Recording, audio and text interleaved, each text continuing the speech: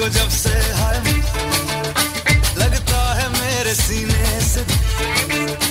Mummy से क्या daddy से भी मिलाऊँगा तुझे? अरे जो भी मैं कहूँ, तुझे लगता है क्यों गलत? तेरा ध्यान किधर है? ये तेरा हीरो